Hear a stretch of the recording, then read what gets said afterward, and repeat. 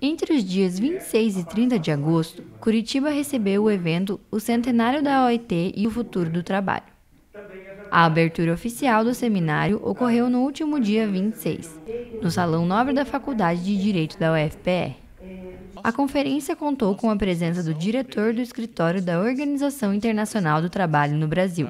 Normalmente, as demais organizações das Nações Unidas têm um só constituinte, que são os governos. No nosso caso, a nossa Constituição prevê que temos três. Temos representantes de trabalhadores, representantes de uh, empregadores e representantes dos governos. Estes três, que realmente são as pessoas que mais têm a ver com o mundo do trabalho, discutem juntos e tomam decisões juntas no contexto da nossa organização. Durante toda a semana, palestras e discussões aconteceram espalhadas pela cidade, abordando temas como liberdade sindical, o trabalho em plataformas digitais, liderança, questões de gênero no trabalho, reforma trabalhista e tecnologias.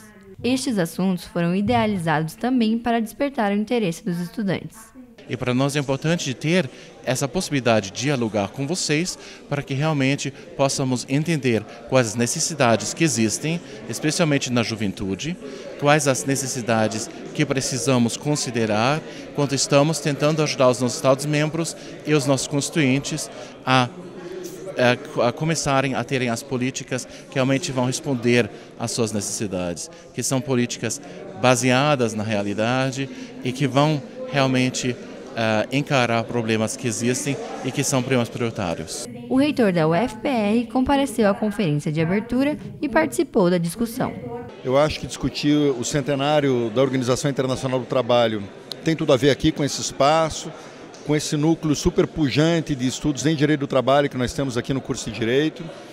E congrega, eu acho, atores que têm alguma coisa em comum: os sindicatos, a Justiça do Trabalho e a universidade que está à frente disso agora, não só aqui no direito, mas também nas ciências humanas, que são entidades que nesse momento histórico estão, por assim dizer, no canto do ringue.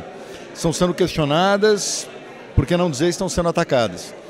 Então, é, ser um catalisador desse debate, esse debate absolutamente importante, é, é, aquilo que o aniversário pode fazer melhor. Elevar o nível da discussão, esclarecer os fatos e o papel de cada instituição dentro desse nosso mundo contemporâneo.